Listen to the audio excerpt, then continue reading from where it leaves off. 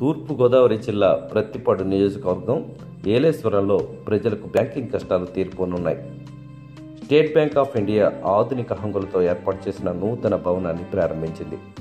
State bank general manager Raghuram Shetty deputy general manager Giridhara Swaminathan లాంఛనంగా కొత్త భవనాన్ని ఆరంభించి ఖాతాదారుల కష్టాలు తీర్చారు.